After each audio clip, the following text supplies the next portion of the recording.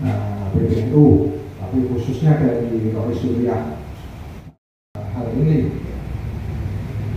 Nah, kalaupun nanti uh, ya itu dugaan lagi ya, dugaan penyalahgunaan uh, fungsi atau wewenang atau penyalahgunaan dari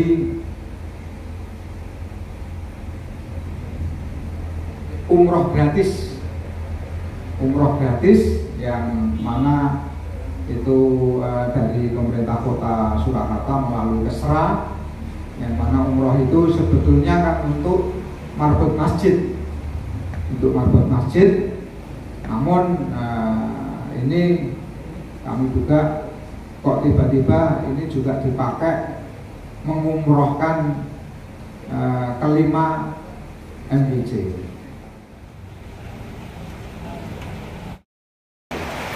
Oke, dalam pemilihan ketua NU uh, tanggal 11 Mei yang lalu uh, yaitu gelaran lima tahunan untuk memilih Roe Surya dan ketua Tangfidiyah PCNU Kota Surakarta. Yaitu sudah terlaksana kalau secara konverjapnya secara administrasi secara tata laksana sudah terlaksana dengan baik dan kondusif. Cuman eh, sayangnya eh, tercederai dengan dugaan adanya riswah atau suap yang mana itu melatar belakangi adanya pengkondisian. Pengkondisian agar terpilihnya uh, Roy Suryah uh, Haji Mutarom dan Ketua Tanfidiyah incumbent Pak Haji Muhammad Masluri. Nah, timbulnya dugaan eh, adanya suap riswah ini sebetulnya sudah terembus uh, sekian hari sebelum konvercap. Sekian hari sebelum konvercap, kami ditelepon beberapa sesepuh, beberapa tokoh tentang adanya suap tersebut, pengkondisian, nah, sehingga menyebabkan tidak transparannya atau tidak demokratisnya para MBC ini dalam uh, kemungkinan adanya calon-calon lain yang mungkin akan maju atau diajukan ya. Kalau di NU itu kan uh, diajukan ya tidak maju tapi diajukan diajukan oleh MDC baik uh, untuk Roe Suriah maupun Ketua Tanfidiyah. Hari eh, Rabu kami mendengar desa-desus itu, hari Kamisnya siang uh, saya sempat menanyakan dan menemui Ketua Tanfidiyah MBC eh, Serengan. Uh, Ustadz Suyoto menanyakan apakah benar, benar adanya berita adanya pemberian uang oleh incumbent. Nah, saat itu uh, Ustadz Suyoto membantah bahkan mengatakan tidak pernah bertemu tidak pernah dikumpulkan apalagi pengkondisian apalagi menerima uang. Itu saat itu ya yang dikatakan kepada kepada saya oh ya sudah kalau memang uh, tidak benar berita itu. Nah, namun uh, ada hari Jumatnya, hari Jumatnya saya juga sowan uh, Pak Bayun kepada Kiai Zainal Asom selaku Rois Suriah uh, MBC Pasar Kliwon. Nah di situ lebih jelas lagi uh, informasinya bahwa Pak Yen Alasom membenarkan adanya pertemuan pada tanggal 6 April di bulan Ramadan malam hari di sebuah kedai kopi. Cuman beliau uh, lupa kedai kopinya mana karena memang kiai jarang ya masuk di kedai kopi. Uh, lalu di pertemuan itu hanya dihadiri oleh Roy Suriah dan uh, Ketua Tanfidiyah MBC NU se Surakarta. Setiap MBC kan ada Roy Suryah dan Ketua Tanfidiahnya, sehingga yang hadir uh, diundang itu adalah uh, 10 orang. Namun Roy Suryah MBC Lawean Kiai Haji Agus Himawan sedang sakit sehingga tidak tidak hadir sehingga dihadiri itu semua dan semuanya hadir baik Roy Surya maupun uh, Ketua Tanfidiah NBCNU Surakarta kecuali uh, Pak Yai Kusmawan dan ternyata juga dihadiri oleh uh, Roy yang terpilih konversa kemarin Kiai Haji Muhtarom juga hadir. Tentu saja juga hadir uh, selaku pengundang menurut keterangan kabarnya adalah uh, incumbent. Dan uh, Pak Yayan Alasom juga menyampaikan bahwa pertemuan itu juga tidak lepas dari persiapan menjelang konvercap yang akan diadakan uh, Sabtunya. Lalu pulangnya semua diberikan tas ya diberikan tas dan itu tas itu tidak ada namanya artinya diberikan secara acak kepada uh, seluruh yang hadir. Namun uh, Kiai Nalasom uh, menyampaikan cerita kepada kami wah kok saya tidak enak? Merasa tidak enak kemudian menelpon bendahara MBC Pasar Kliwon. Uh, untuk bersama-sama membuka akhirnya oleh kendaraan BC Pasar Kliwon dibuka dan ternyata di dalamnya ada amplop setelah dihitung uh, senilai 5 juta rupiah. Nah, langsung Pak Yai Nalasom uh, bercerita wah iya kok aku rawani mulai aku rawani mulai nek nggawa iki. Piye sok ben nek ditakoni karo Hadratus Syekh Hasyim Asyari ibaratnya pertanggung jawabannya seperti apa? Akhirnya aku rawani gue mulai wis simpenan aja aku balik no kono. Akhirnya uang itu uh, disimpan dikembalikan melalui bendara MBC Pasar Kliwon lalu hari Sabtunya uh, konversa berlangsung dan memang ya ini pengamatan saya ya. Pengamatan saya memang uh, terjadi pengkondisian. Terjadi pengkondisian. Karena kabarnya yang kami terima itu kan ada dua kandidat. Kabar yang kami terima ada dua kandidat. Yang satu incumbent uh, Pak Haji Muhammad Masduri yang satunya. Yang muncul nama itu adalah uh, Haji Arif Ansori Nah kabar yang kami terima di lapangan sebelumnya adalah bahwa uh, Haji Arif Ansori akan diusung oleh tiga MBC. Nah, Pak Masuri otomatis dua kan.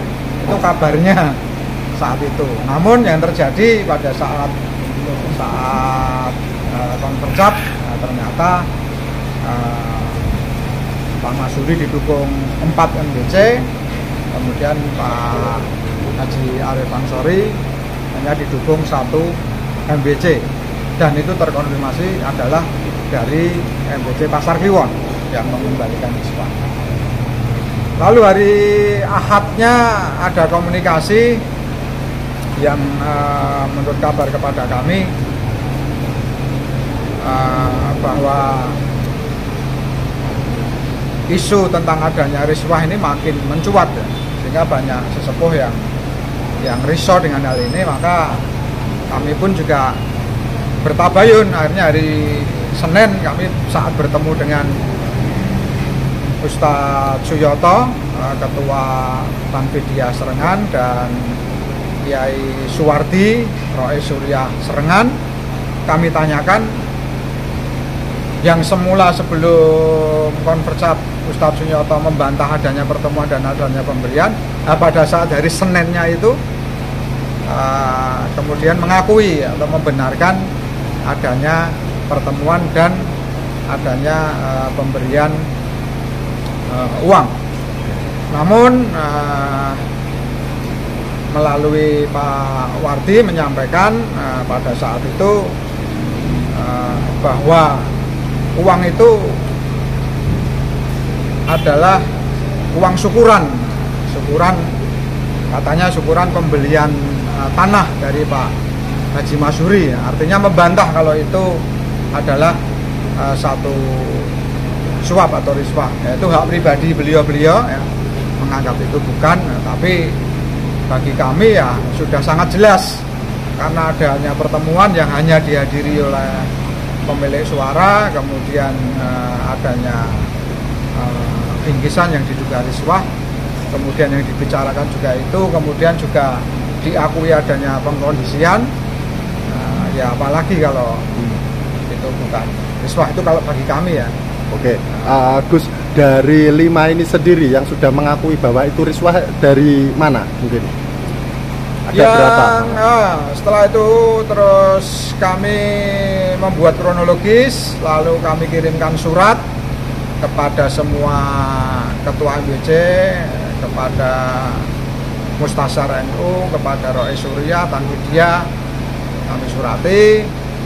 Uh, belakangan Ketua Tanfidiyah MBC Lawean, Ustadz Rois Jazuli, kabarnya mengembalikan, mengembalikan uang melalui ya? bendahara MBC Lawean, sehingga ada dua, ada dua MBC yang menganggap itu riswah dan mengembalikan. Nah, tiga MWC yang lain ini ya kami himbau juga bisa menyadari hal yang sama lah karena ini kan jangan sampai katanya dikatakan itu persepsi ah itu persepsinya burhan aja persepsinya riswah kalau kami itu menganggap sedekah pribadi yuk. Sedekah pribadi ya. Ya justru kalau begitu justru kami ingin duduk bersama. Yuk kalau perlu diadakan basul masail. Apakah ini riswah atau bukan? Melihat kronologisnya lah. Melihat kronologisnya uh, basul masail supaya umat ini juga jelas. Ya. karena apa yang dilakukan para sesepuh para ketua uh, Roy Suriah ketua Tanfidiyah ini kan seorang pimpinan pimpinan jamiah ya. Kan dilihat menjadi contoh. Sehingga justru jangan ini persepsi jangan. Ya harus kita samakan.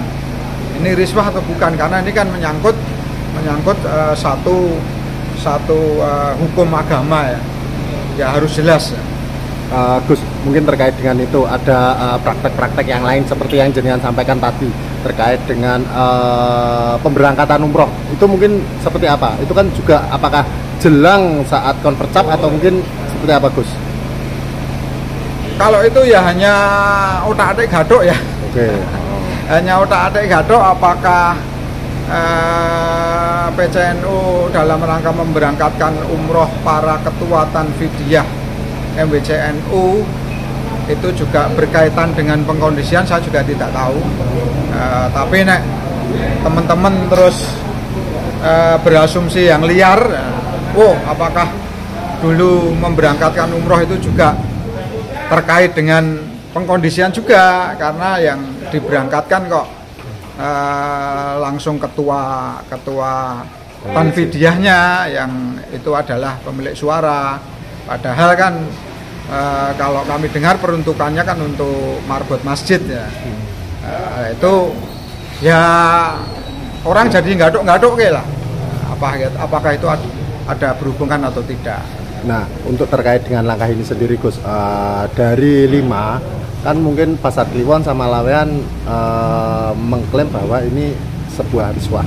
Nah, mungkin untuk ini sendiri uh, langkah ke depannya terkait dengan dugaan riswah ini sendiri mungkin seperti apa?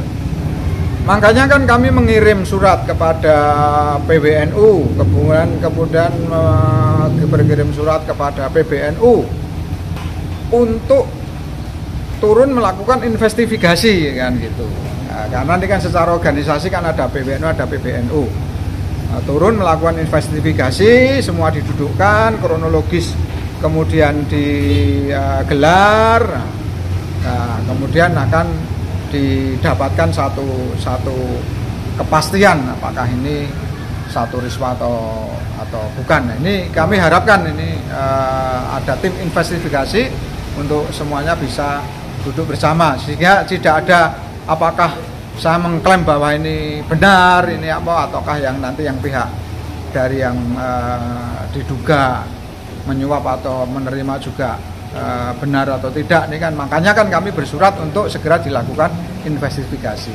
Oke, lah jika ini terbukti semisal benar ditemukan dugaan tersebut harapan jenengan mungkin ya itu presidennya sangat buruk ya hmm. uh, artinya kita kan ingin uh, organisasi NU adalah organisasi keagamaan yang mana yang duduk adalah seseorang yang memang menjadi teladan seseorang yang lebih tahu agama seseorang yang akan membimbing kita umat ya uh, umat Islam yang ada di kota Solo khususnya sehingga kalau itu terbukti ya, ya memang manusia tidak lepas dari kesalahan. Seandainya itu memang terbukti seperti itu, ya uh, selayaknya orang yang lebih tahu agama kan lebih cepat bertobat kan gitu. Lebih cepat kembali ke jalan uh, yang benar. Kemudian sanksi secara organisasi yaitu uh, tergantung nanti dari PBNU, dari PWNU, uh, terutama dari PB apakah kan dilakukan uh, caretaker atau uh, nanti konvercap ulang ya. Itu uh, serahkan ke pusat ya? tergantung dari bagaimana nanti keputusan dari pusat. NU kami kirim kirimkan uh, Senin. Uh, seperti yang kami ceritakan tadi kemudian tanggal 30 Kamis tanggal 30 Mei